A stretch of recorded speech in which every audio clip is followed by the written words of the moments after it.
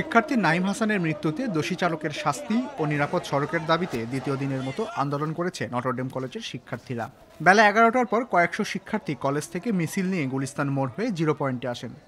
স্লোগানে স্লোগানে নিরাপদ সড়ক আর নাইম হত্যার বিচার চান তারা আমরা দুই হাজার আঠারো সালে আন্দোলন করেছি কিন্তু আমাদের নিরাপদ সড়ক এখনও পাইনি আমাদের দাবি হচ্ছে শুধু আশ্বাস দিলেই হবে না এগুলো বাস্তবায়ন করতে হবে এবং একটা দীর্ঘস্থায়ী সমাধান দিতে হবে নটরডেম কলেজ শিক্ষার্থীদের সাথে এই আন্দোলনে একাত্মতা প্রকাশ করে বিভিন্ন শিক্ষা প্রতিষ্ঠানের শিক্ষার্থীরাও আমরা চাচ্ছি না যে নাইমের মার মতো আর কোনো মাকে এরকম আত্মনাথ বাবাকে আত্মনাথ করে কান্না করতে হয় আমরা নটরডেমের না হই নাইমও আমাদেরই ব্যাচের ছিল আমরা আমাদেরই ভাই কারো ভাই কোনো মায়ের কোনো বাবার ছেলে আমরা চাই না আর কোনো মা বা বাবার ঘর খালি হোক নটরডেমের আন্দোলনরত বর্তমান শিক্ষার্থীদের সাথে যোগ দেন প্রাক্তনরাও দুপুর দুইটায় ছয় দফা দাবি নিয়ে শিক্ষার্থীরা নগর ভবন অভিমুখে মিছিল নিয়ে যান নগর ভবনের বন্ধ ফটকের সামনে বসে স্লোগান দিতে থাকেন তারা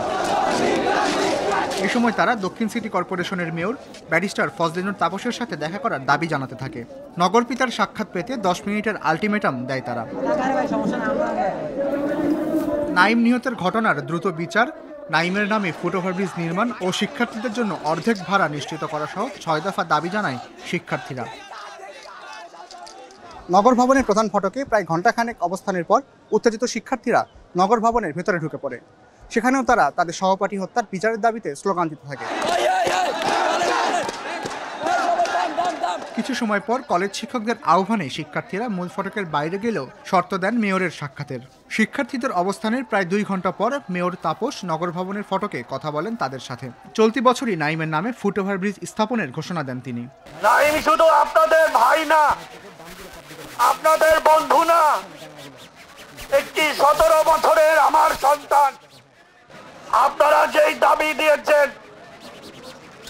সেই দাবির সাথে শুধু আমি একমত পোষণ না শুধু সম্মতি না আমি আরো দাবি করি যেন সেই খুনির ফাঁসি হয় সেই খুনির ফাঁসি